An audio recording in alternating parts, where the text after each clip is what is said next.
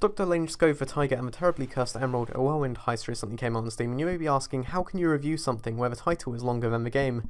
And the reality of it is, the shortness of this game is what makes it so good. You get the kind of experience that you would from the Stanley Parable or the Beginner's Guide, except in a much more condensed experience, not to mention that it's free. You can download this game off Steam in a couple of minutes without paying a single penny, and then go through the experience and experience everything it has to offer, which is actually a fair amount, within under half an hour. They could have easily dragged out the concept of the game and the really engaging narrative it has over a longer period of time, but they didn't need to, so they didn't.